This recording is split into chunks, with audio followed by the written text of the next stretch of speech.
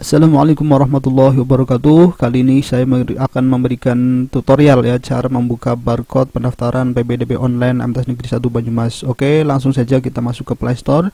Kemudian kita ketik barcode scanner Kemudian akan keluar silahkan pilih salah satu.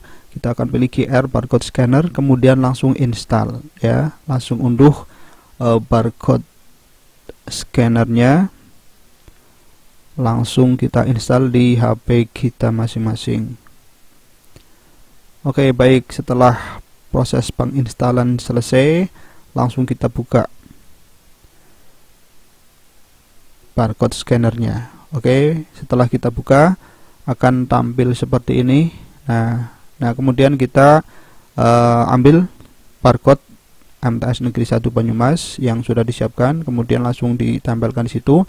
Nanti akan keluar link uh, link yang akan menuju ke PBDB online MTS Negeri 1 Banyumas. Ya kita akan diarahkan ke link PBDB MTS Negeri 1 Banyumas secara online yang tampilannya kurang lebihnya seperti ini.